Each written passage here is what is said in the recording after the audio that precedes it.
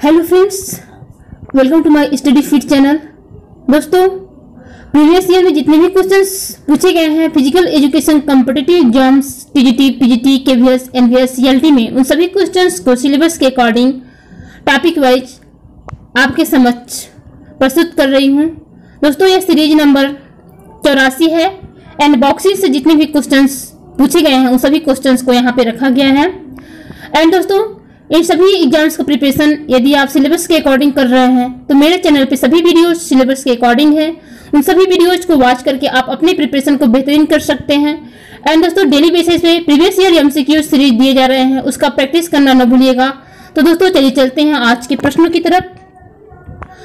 तो दोस्तों first question है, पुगलिस्ट को और किस नाम से जाना जाता है? तो पुगलिस्ट किसको बोला जाता है? उसको और किस नाम से जाना जाता है? बॉक्सर। ठीक है? बॉक्सर। जैसे दोस्तों, बॉक्सिंग के खिलाड़ी को बॉक्सर बोला जाता है, उसको एक और नाम से, पुगलिस्ट के नाम से भी पुकारा जाता है। ठीक है? नेक्स्ट क्वेश्चन है, बॉक्सिंग के मुकाबले तीन तीन मिनट के कितने चक्रों में संपन्न होते हैं? तो कितने चक्रों में संपन्न होते हैं? बॉक्सिंग के मुकाबले आमतौर पर तीन तीन मिनट के नौ से बारह चक्रों में संपन्न होते हैं। बट यहाँ इसके संबंधित जो है निकटतम उत्तर होगा दस से बारह चक्र। ऑप्शन नंबर सी करेक्ट होगा।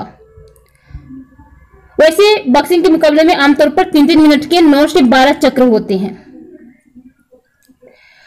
दोस्तों बॉक्सिंग से संबंधित कुछ विशिष्ट पंच हैं, विशिष्ट शब्द जैसे कि jab cross, hook uppercut lower cut ठीक है?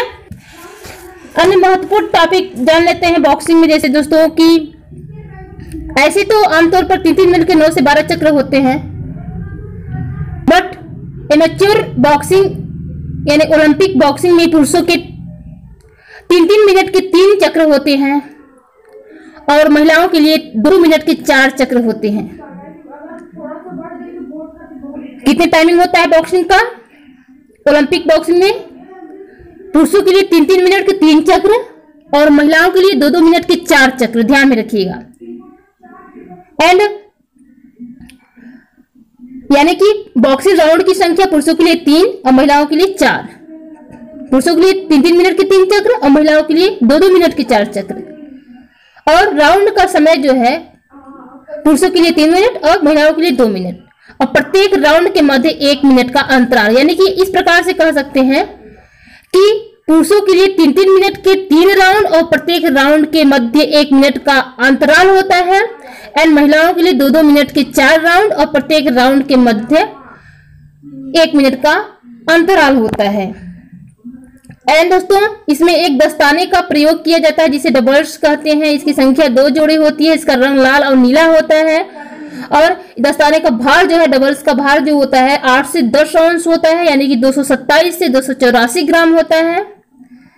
एंड इसमें इसी के मैदान को रिंग कहा जाता है। इसके रिंग का आकार वर्गाकार होता है, यानी 20 गुड़े बीस फीट का होता है, यानी कि छह दशमलव एक ज़ीरो से गुड़े छह दशमलव एक ज़ीरो मीटर होता है।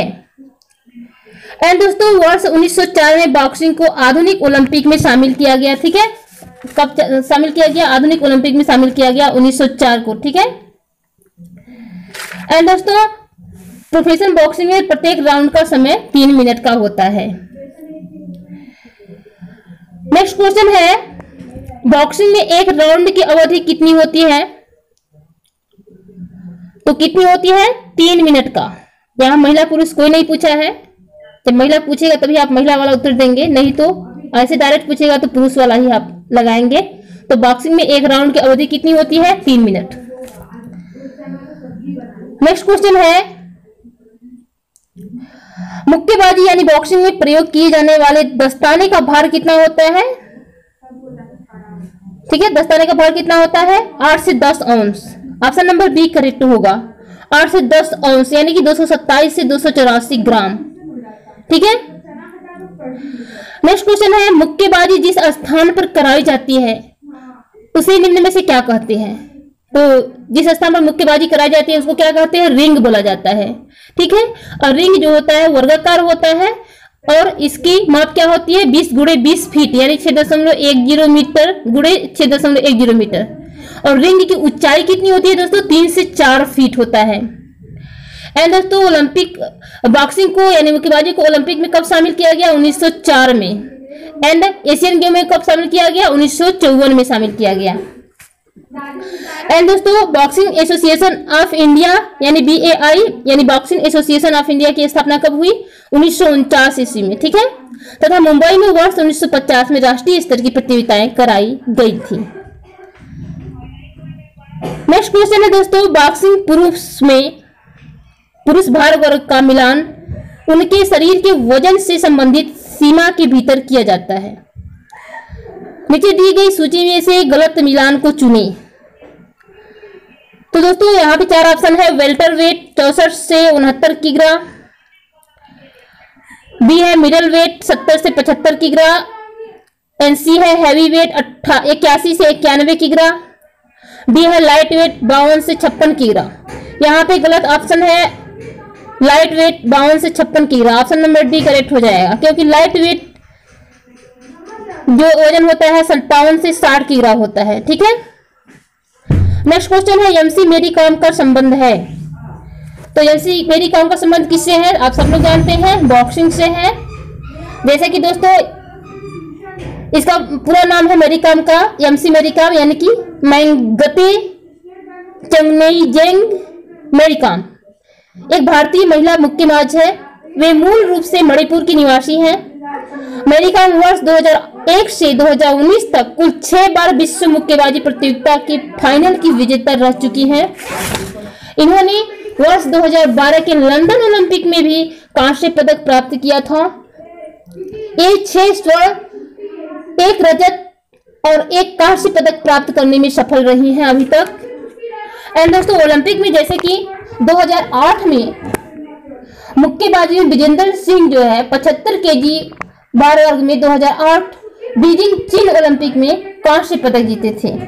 एंड 2012 के लंदन ओलंपिक में एमसी मैरी कॉम ने कांस्य पदक जीते थे। एंड 2021 के 2021 के जो टोक्यो ओलंपिक हुआ है, उसमें लोलिना बोर्गेहेन बॉक्सिंग में कांस्य पदक जीती है? ठीक है? एंड दोस्तों नेक्स्ट क्वेश्चन है। आमतौर पर राष्ट्रीय चैंपियनशिप में भाग लेने के लिए बॉक्सर के लिए अधिकतम आयु सीमा है। तो कितना आयु सीमा है अधिकतम बॉक्सर के लिए?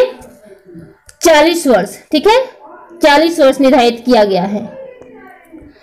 तो दोस्तों, ये था बॉक्सिंग से रिलेटेड महत्वपूर्ण प्रश्नों की श्रृंखला, जिसमें से बहुत ही कम क्वेश्चन था और मुख्य मुख्य क्वेश्चन था। इसी के अंदर से क्वेश्चन इसमें पूछे जाते हैं। एंड दोस्तों, जो 2021 के टोक्यो ओलंपिक में लोलिना बोर्गेहेन बॉक्सिंग में कांस्य पदक जीते हैं, इसको आप ज़रूर याद कर लीजिएगा, क्योंकि ये करंट का चीज़ है, इसको पूछा जा सकता है। तो दोस्तों, ये था बॉक्सिंग से रिलेटेड जितने भी क्वेश्चन पूछे गए थे, उन सभी क्वेश्चंस को यहाँ पे रखा गया है। तो दोस्तों, आपको वीडियो कैसा लगा मुझे कमेंट में ज़रूर बताइए और ज़्यादा से ज़्यादा शेयर कीजिए दोस्तों। यहाँ पे सिलेबस के अकॉर्डिंग सभी वीडियोज़ मिलते हैं, इसलिए इस चैनल पर बने रहिए अपनी बेहतरीन तैयारी के लिए। एंड दोस्तों, पहली बार विज़िट कर रहे हैं तो चैनल को सब्सक्राइब कर लीजिए बेल आइकन को प्रेस कर लीजिए, जिससे न्यू वीडियो का अपलोड आपके पास जाता रहे। तो मिलते हैं नेक्स्ट वीडियो में नेक्स्ट टॉपिक के साथ। तब तक के लिए जय हिंद।